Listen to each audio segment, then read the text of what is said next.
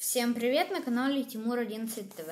Сегодня мы продолжим для вас читать книжку «Гарри Поттер и философский камень». В прошлой серии мы остановились на том, что мы прочитали первую часть главы, которая называется э, «Косой переулок». Сегодня нас ждет вторая часть этой главы. Ну что, поехали? Гарри вышел на скалу вслед за Хагридом. Небо было чистым, и море поблескивало в лучах солнца – Лодка, которую арендовал дядя Вернон, все еще была здесь, но после урагана она была залита водой. «А как ты сюда попал?» Гарри оглянулся, но другой лодки так и не увидел. «Прилетел», — ответил Хагрид. «Прилетел? Да, не будем об этом. Теперь, когда ты со мной, мне нельзя чудеса творить». Они уселись в лодку, а Гарри продолжал внимательно разглядывать Хагрида, пытаясь представить его летящим. Хотя, да, если по правде, глупо было бы грести самому, Хагрид покосился на Гарри. Если я, э, э, если я сделаю так, что мы побыстрее поплыли, ты ведь никому в Хогвартсе не расскажешь. Конечно, нет, выпалил Гарри, которому не терпелось видеть что-нибудь магическое. Хагрид вытащил свой розовый зонт, дважды стукнул им об борт лодки, и та помчалась. «А почему только сумасшедший может попытаться ограбить Гринготс?» — поинтересовался Гарри. «Заклинание, колдовство», — ответил Хагрид разворачивая газету. Говорят, что там у них самые секретные сейфы, драконы охраняют, и к тому же откуда еще выбраться надо. Гринготт глубоко под землей находится, сотни миль под Лондоном. Чуешь, глубже, чем метро. Даже если повезет грабителю получится у него украсть что-нибудь, он с голоду помрет, пока оттуда выберется, да. Гарри сидел и думал об услышанном. Хагрид читал газету, которая называлась «Ежедневный пророк», Гарри помнил, как дядя Вернон твердил, что когда человек читает газету, он не любит, чтобы ему мешали, но сейчас оставить Хагрида в покое было нелегко, потому что никогда в жизни Гарри не хотелось задать столько вопросов. Ну вот Министерство магии опять дров наломало, пробормотал Хагрид, переворачивая страницу. «А что такое министерство?» – спросил Гарри, позабыв, что мешать читающему газету не следует.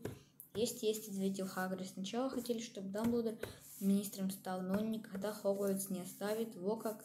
Так что в министры старый Корнелиус Фадж пошел, а хуже его не найдешь. Он теперь каждое утро к Дамблдору сов посылает за, за советами. А чем занимается Министерство магии?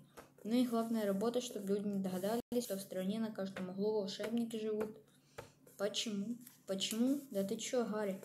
Все сразу захотят волшебством свои проблемы решить. Это точно. Не лучше, чтобы нас не знали.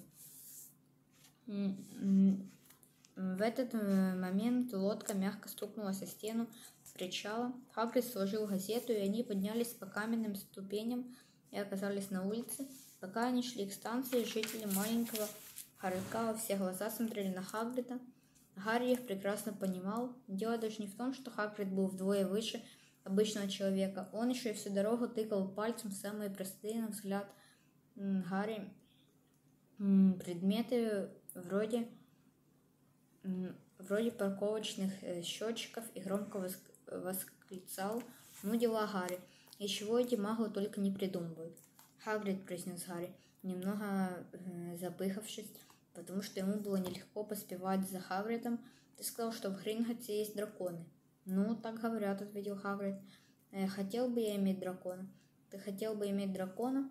«Всегда хотел, еще когда маленьким совсем был». «Все, пришли мы». Они были на станции. Поезд Фонтон отходил через пять минут.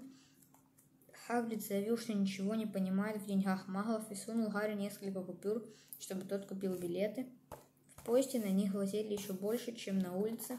Хагрид занял сразу два сиденья и начал вязать нечто похожее на шать шатерка на речного цвета, вроде тех, где устраивают представления циркачи. «А письмо-то у тебя с собой, Гарри?» – спросил он, считая петли. Гарри вытащил из кармана э, пергаментный конверт. «Отлично», – сказал Хагрид. «Там есть список всего того, что для школы нужно». Гарри развернул второй листок бумаги, который не заметил вчера, и начал читать. Ну вот и все. Мы прочитали вторую часть главы, которая называется «Косой переулок». В следующей серии нас ждет третья часть этой главы. Но это мы уже будем для вас читать в следующей серии.